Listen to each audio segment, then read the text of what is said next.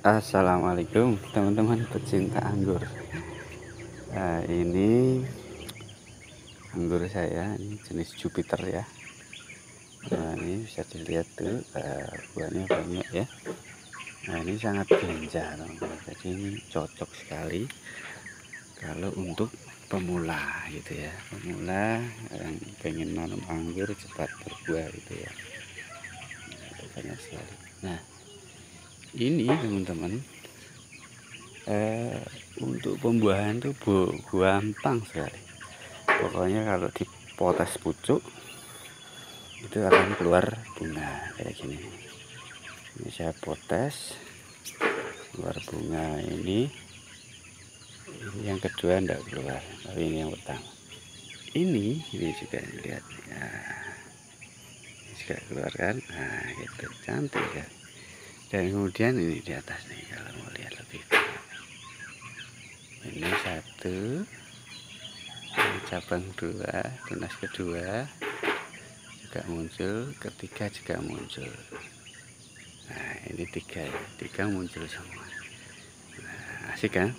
Nah, ini kita lihat buahnya jadi bisa dia nggak bareng gitu ya. Ini kalau ini yang agak serempak ini ini kan nah, satu jalur tuh banyak sekali. Nah, ini juga nih nah, lo lo lo gak bahaya toh punya anggur banyak kayak gini nih lah. Kita lihat sisi sini nah, ini kemarin juga saya potas muncul bunga gitu kan.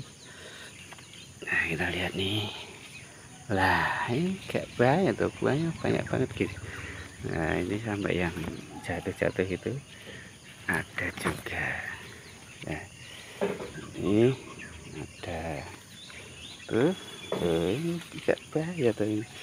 Punya anggur kalau banyak buahnya kayak gini nggak bahaya tuh nah ini banyak tuh nah, ini juga ini. Nah, memang dari sisi ukuran ini kecil ya teman-teman. Tapi banyak gitu ya. Nah, banyak banget. Nah ini kalau senior-senior anggur ini sudah hal yang biasa gitu. Ini yang klasternya besar ini paling gede ini. Nah tuh tuh ya. Terus kita lihat dari sebelah sini nah, ini juga ini bunga susulan ini teman-teman. Makanya konten lebih kecil ya. Nah, ini kedua ini. Tapi uh, banyak ini lanjutan potes berikutnya juga. Nah, nah ini juga ini nah. Itu jadi untuk teman-teman yang kalau di iklan-iklan itu banyak tanaman anggur gitu kan pengen budidaya lagi pemula misalnya ya mending yang untuk pertama itu jenis Jupiter kayak gini itu banyak jadi tidak ada rasa kecewa tahap pertama. Tapi kalau jenis yang sulit uh, nyabut tuh tanaman gitu.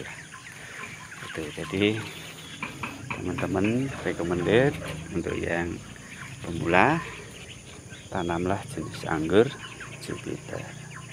Potes pucuk dia langsung keluar bunga ini potes pucuk luar. Bunga ini.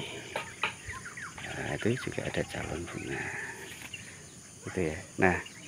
Dan ternyata dia buahnya itu bisa susul menyusul gitu ya.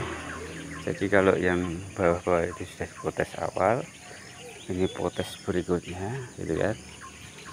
Sama itu, itu itu kalau itu awal ini potes berikutnya. Sana tadi juga berikutnya yang sana nah ini bisa saya potes selanjutnya. Nah, nanti dia juga akan keluar bunga jadi insya Allah tidak mengecewakan. Itu teman-teman semuanya. Pecinta anggur.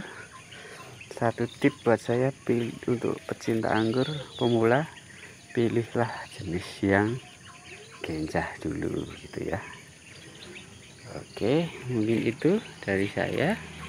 Semoga bermanfaat. Terima kasih Oke mohon subscribe nya Assalamualaikum warahmatullahi wabarakatuh